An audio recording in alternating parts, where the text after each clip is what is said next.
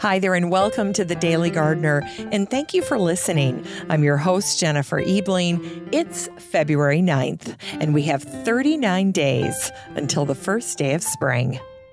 Today, we celebrate a man who published his garden journal in a book and inspired countless gardeners and garden writers with his resonant words.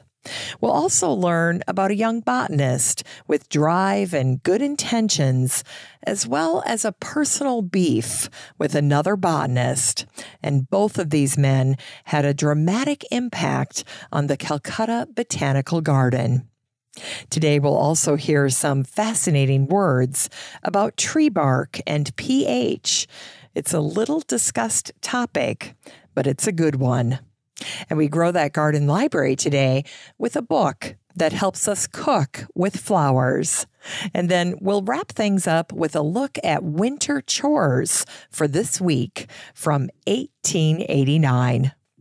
But first, I just wanted to remind you that you can always head on over to thedailygardener.org. That's thedailygardener.org. And once you're there, you'll see all of the show notes for every single episode, in addition to blog posts for botanical history, all of the book recommendations, and all of the poetry that's been shared on the show. It's all there waiting for you. And also, when you're there, you can sign up for the free Friday newsletter. This is a little email from me to you. It comes out every single Friday, and it's like getting a garden letter from a friend. I also share botanical history and literature to tide you over the weekend, along with gift ideas and recipes and exclusive updates regarding the show. So if you get a chance, head on over to the website, sign up for the newsletter and have a look around. Here's today's curated news. Today's curated news comes from marthastewart.com, and the post is about jade plants. The title is Jade Plants Are the Low Maintenance House Plants everyone should know about. And I thoroughly agree with that because jade plants do make wonderful house plants. Their botanical name is Crassula ovata. And they're also commonly known as the lucky plant or the money tree or the money plant. Now, one thing to keep in mind with your jade plant is that these plants originate from the Cape Province of South Africa. So, as much as we love them as houseplants, they are native to South Africa. And that provides a clue as to how to take care of these plants. I'll never forget the summer a few years back when one of my student gardeners had a grandmother who was dying from breast cancer. And she mentioned that her mother had no idea how to take care of her mom's houseplants after she passed on.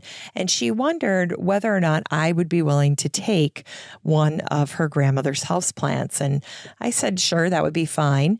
And one day, her mom showed up with the most huge jade plant I'd ever seen. It was in basically the equivalent of a five gallon bucket. And the jade plant was about two feet tall and two feet wide. And I noticed immediately that it was waterlogged.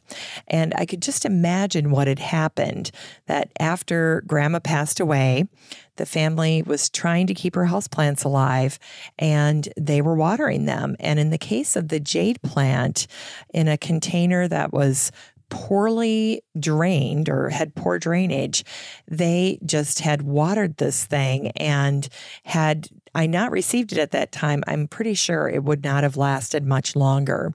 So the day that I got it, I just let it sit outside. It was a hot day. And I thought, okay, tomorrow I'm going to figure out what I want to do with this, find the pots that I wanted, and so forth. And so I picked two terracotta pots, which are perfect for a jade plant because they're very breathable. And then using soil that was heavily perlited to keep the soil nice and light and fluffy and well aerated, I then proceeded to split this plant into two plants so it was a little more manageable to deal with. And then I washed as much of the soil the old soil away from the root structure as I could. And there's not much root structure to a jade plant because all of the water is retained in the stems and the leaves. And then I repotted it. I repotted both of them. And they're actually with me right now up here at the cabin. One of them is sitting in front of the deck door on an antique plant stand. And the other one is up in my bedroom. And every morning when I get up, I look out to see the lake and I see this beautiful jade plant. It's very architectural, it's very beautiful, it's tall.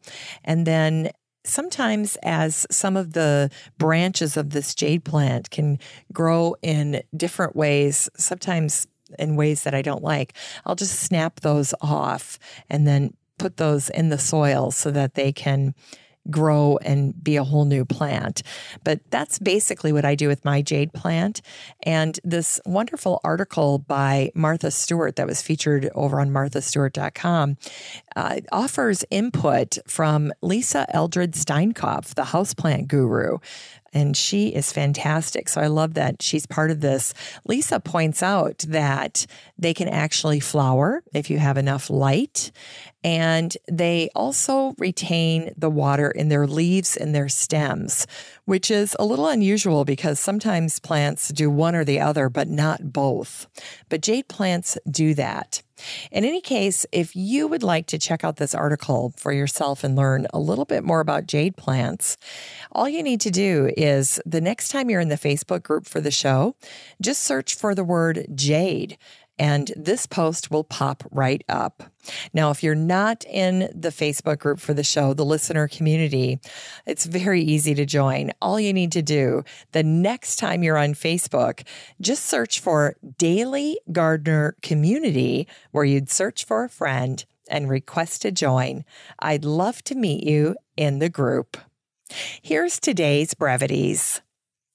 Today is the birthday of the English gardener and writer Henry Arthur Bright, who was born on this day, February 9th, in 1830. As an adult, Henry began a diary, which would become a book called A Year in a Lancashire Garden. Henry's book is one of the most beloved garden biographies of the 19th century, and Henry's book inspired future garden writers like Henry Nicholson Ellacombe, Teresa Earle, and Elizabeth Lawrence. And I thought I would share today a February 1874 excerpt from Henry's journal. And although this was written almost 150 years ago, Henry was doing what gardeners do this time of year, worrying about how the winter would affect his garden and noticing the progress of the earliest blooming trees and shrubs, cleaning up and editing the garden for the new season looking through his garden magazines for new and old plants, experiencing some disappointment in the spring showing of some of his flowers, in this case, his aconites, and mulling over why some spring flowering bulbs go unappreciated, like the humble spring crocus. So, without further ado, here's what Henry wrote. We've had the sharpest and keenest frost, sharper than we've had all winter. Now spring has come again, and as Horace says, has shivered through the trees. The elders are already unfolding their leaves. Lonicera or honeysuckle is in the freshest bud. I remember when, a few years ago, Mr. Longfellow, the American poet, was in England, and he told me he was often reminded by the tender foliage of an English spring of that well known line of Watts, where the fields of paradise, quote, stand dressed in living green. And I thought of this today when I looked at this very Lonicera but all things are now telling of spring. We have finished our pruning of the wall fruit. We have sown our earliest peas. We have planted our ranunculus bed and have gone through the herbaceous borders, dividing and clearing away where the growth was too thick, and sending off hamperfuls of peony, iris, oenothera, snowflake, Japanese anemone, daylily, and many others. On the other hand, we've been looking over old volumes of Curtis's Botanical Magazine and have been trying to get, not always successfully, a number of old forgotten plants of beauty and now of rarity. We have found enough, however, to add a fresh charm to our borders for June, July, and August. On the lawn, we have some aconites in flower. This year, they're doing badly. I suspect they must have been mown away last spring before their tubers were thoroughly ripe, and they are punishing us now by flowering only here and there. Then, too, the crocuses are bursting up from the soil, all gleaming in purple and gold. Nothing is more stupid than the ordinary way of planting crocuses in a narrow line or border. Of course, you get a line of color, but that is all. And for all the good it does, you might as well have had a line of colored pottery or variegated gravel. They should be grown in thick masses and in a place where the sun can shine on them, and then they open out into wonderful depths of beauty. Besides the clusters along the shrubberies and the mixed borders, I have a number of crocus on the lawn beneath a large weeping ash. The grass was bare there, and it was well to do something to veil its desolation in the spring. Nothing can be more successful than a mass of crocus, yellow, white, and purple. I sometimes think that the crocus is less cared for than it deserves. Our modern poets rarely mention it, but in Homer, when he would make a carpet for the gods, it is of lotus, hyacinth, and crocus. And today is the anniversary of the early death of the promising English botanist and naturalist William Griffith, who died on this day, February 9th, in 1845. William's peers in Madras, India, honored William with a plaque that says, he attained to the highest eminence in the scientific world and was one of the most distinguished botanists of his age. William was exceptionally bright and fit. Confident and capable, William made one discovery after another on his expeditions across the globe. But in researching William, while I discovered a man who was unquestionably intelligent and driven, he was also embroiled in a personal battle against a fellow botanist, an older peer named Nathaniel Wallich.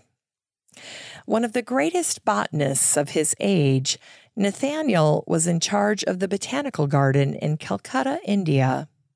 And during his time in India, he wrote a Flora of Asia, and the palm Wallichia disticha was named in Wallich's honor. In 1824, Nathaniel was the first person to describe the giant Himalayan lily, Cardiocrinum giganteum, the largest lily species in the world. And if you decide you'd like to grow a Himalayan lily, and who wouldn't, expect blooms anytime after year four. Now, Richard Axelby wrote an excellent in depth paper that shares the sad story of dislike and mistrust between William Griffith and Nathaniel Wallich. It's a fascinating read, and it underscores the damage that can be done when people don't get along. In a nutshell, when William arrived at the Botanical Garden in Calcutta, he essentially played the role of the new sheriff in town, and he didn't like the way that Nathaniel had organized the garden. He didn't like Nathaniel's arrogance and adherence to the old ways. And for his part, Nathaniel hadn't anticipated this kind of challenge to his authority. He had hoped to finish out his final years respected and revered until he received his pension and returned to England. When Nathaniel's health deteriorated, he was forced to leave the Calcutta Botanical Garden and he went to the Cape of Good Hope in South Africa to recover. During his absence, William went to work. And after being put in charge of the garden, William set about executing a complete renovation. In hindsight, William's personal feelings likely got in the way of exercising a more thoughtful redesign. He essentially threw the baby out with the bathwater. For instance, there was an avenue of stately cycas trees that was beloved by visitors of the garden, and they were wiped out. William's total dedication to organizing the garden by classification meant that aesthetics and common sense were secondary and that proved detrimental to the garden. Plants that had thrived under the canopy of established trees and shrubs were suddenly exposed to the harsh Indian sun, and they burned and perished out in the open. And even if he could be a difficult man to work with, it's hard not to imagine the shock Nathaniel experienced when he returned to the garden in the summer of 1844 and saw the complete devastation in every bed, every planting, and every corner of the garden. Nothing was untouched. It had all been changed. And as Nathaniel returned to the garden that summer, William was preparing to leave. In September, he married his brother's wife's sister, Emily Henderson. And by the end of the year, on December 11th, he quit and he left the garden for good. Two months later, on February 8th, 1845, Nathaniel poured out his pain in a letter to his old friend William Hooker. He wrote, where is the stately, matchless garden that I left in 1842? Is this the same as that? Can it be? No, no, no. Day is not more different from night than the state of the garden as it was from its present utterly ruined condition. But no more on this. My heart bleeds at what I'm impelled daily, hourly to witness. And yet I am chained to the spot, and the chain, in some respects, is of my own making. I will not be driven away. Lies, calumnies, every attempt to ruin my character, publicly and privately, are still employed. They make my life miserable and wretched. They may break my heart, but so long as my conscience acquits me, so long will I not budge one inch from my post. Well, when Nathaniel wrote this letter, William and his bride Emily were back in Malacca in southwestern Malaysia, but all was not well. William had gotten sick on the voyage to Malaysia. It was hepatitis, and he had languished for 10 days. And the very day after Nathaniel sent his letter to William Hooker about his broken heart at seeing his dear Calcutta Botanical Garden, William Griffith died on this day in 1845 in Malaysia. He was just 34 years old. In Unearthed Words, Today's words are from the New York Times best-selling author Tristan Gooley from his book The Lost Art of Reading Nature Signs. And this is from his section called Bark. Each tree's bark will have its own pH, and some are more acidic than others. Larches and pines are notoriously acidic, Birch, hawthorn, and oak are acidic too, but slightly less so. Rowan, alder, beech, linden, and ash are less acidic again, and willow, holly, and elm are getting closer to neutral. Sycamore, walnut, and elder are alkaline. And the less acidic the bark is, the more growth you are likely to see from colonizing plants and lichens. Pine bark is often bare, whereas sycamore might have a glorious guest hanging off its bark. It's time to grow that garden library with today's book, Cooking with Flowers by Misha Bacher. This book came out in 2013, and the subtitle is Sweet and Savory Recipes with Rose Petals, Lilacs, Lavender, and Other Edible Flowers. In this book, Misha put together more than a hundred recipes to create beautiful, flower filled dishes for your table.